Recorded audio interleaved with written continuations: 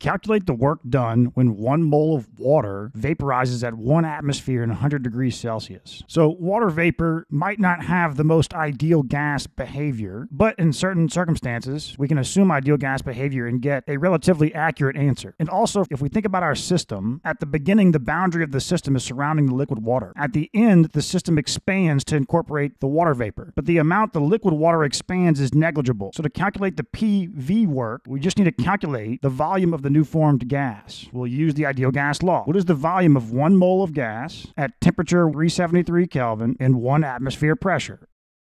solving for V. So we go from no gas to a volume of gas that's equal to 30.6 liters. The water vapor expanded from zero volume to this volume against a constant pressure of one atmosphere. So the work done is just P times V, 30.6 liter atmospheres. But the work done was by the system on the surroundings. So this is negative.